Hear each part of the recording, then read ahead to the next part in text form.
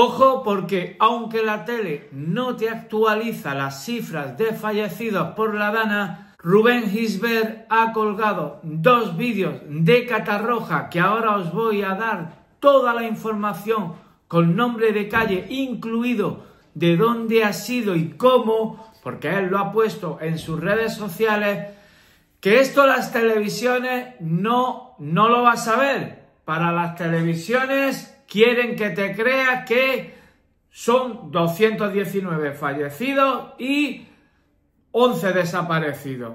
Esa es la versión oficial de la tele. Sin embargo, las redes sociales no paran de colgar vídeos con nuevas víctimas de la Dana. En este vídeo vamos a traer dos más, ni una ni dos, dos de Catarroja, que ahora os daré toda la información, pero antes os quiero comentar una cosa de la visita de los reyes de hoy a la localidad de Shiva, en la comunidad valenciana. Pero antes me gustaría comentar, ante todo, un vídeo de hoy que los reyes, sabéis, hoy Felipe y Leticia, acompañado de Carlos Mazón, que es este vídeo que estáis viendo aquí mientras yo hablo, pues han estado en la localidad de Shiva, ¿no?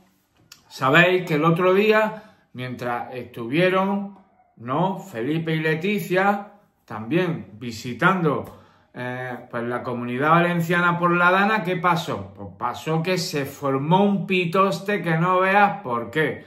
Porque iban acompañados de Pedro Sánchez, que a Pedro Sánchez sabéis que no lo quieren ver ni en pintura, ni en la vuelta de la esquina, pero es que Carlos Mazón, aunque hoy, por ejemplo, hoy en la visita de los reyes a Shiva, la localidad de Shiva, que sabéis que es una de las zonas cero, Ahí no ha habido, ah, bueno, no ha habido abucheos, no ha habido nada, todo ha sido muy bonito, mm, aplausos, tal, aún a pesar de que iba Amazon. ¿Pero por qué? Porque la, la ciudadanía en sí, siempre lo voy a decir, a quien más tirria le tienen, ¿a quién es? A Pedro Sánchez. A Pedro Sánchez, a quien más, a quien más tirria le tienen. Por cierto, que mirar, mirar lo que pone aquí, las provincias, ¿veis lo que pone ahí? El gobierno quiere cobrar a la Generalitat los análisis para retirar el lodo de la dana. Mirad, aquí lo tenéis. O sea, encima todo, que le ha ocurrido una desgracia, el gobierno quiere cobrar los análisis para retirar el lodo de la Dana. El gobierno de España, ojo.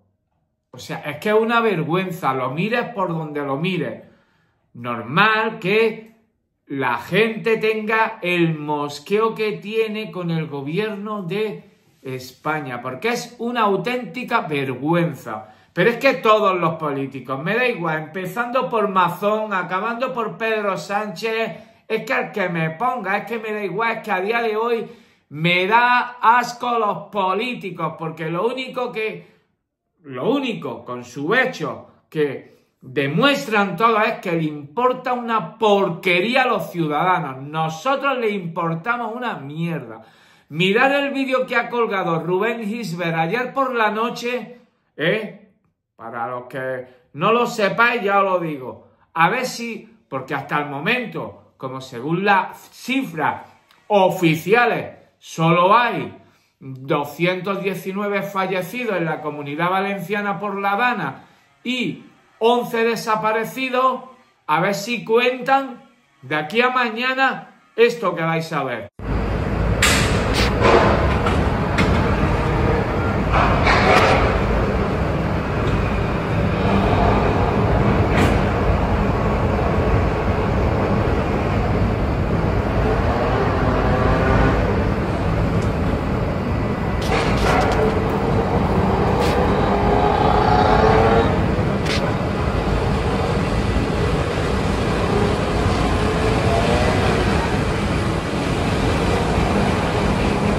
Bueno, Barranco de Catarroja, queridos amigos, Puente de las Rotondas y ya veis la congregación de efectivos ante un vehículo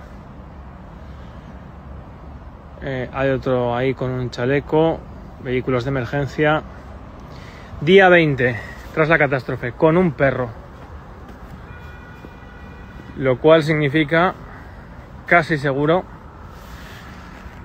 que es muy probable que se haya encontrado, ahí veis los perros, ahí veis que tienen con la chaqueta señalizado. Vamos a ver si necesitan la linterna. Están ahí con los perros batiendo. Ahí, ahí están los perros de un lado para otro. Y ahí tienen con la chaqueta señalizado. ¿Veis? Un vehículo donde en principio pues puede haber aparecido alguien. Vamos a dar la vuelta y a ver si necesitan ayuda.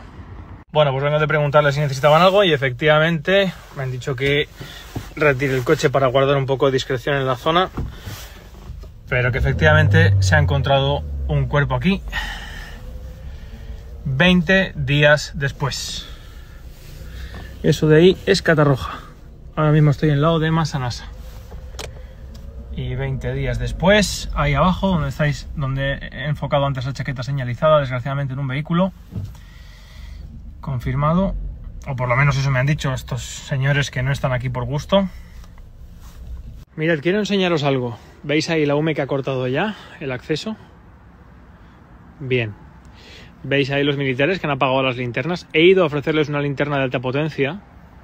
Están ahí, miradlos. Me han dicho que no porque quieren actuar con discreción. ¿Ante qué? ¿Veis esa marquita de ahí? Que es el, el chaleco que os he mostrado, antes. Bueno, ahí hay alguien en un coche enterrado desde el día 8 de noviembre. Desde el día 8 de noviembre que pasó, miembros pasaron, mira, ahora he encendido las linternas. Pasaron miembros. ¿Alguien me puede explicar por qué han tardado 10 días, o parece que están tardando 10 días, en venir a retirar un cuerpo del barranco cuando hay una familia que no sabe todavía dónde está su familiar?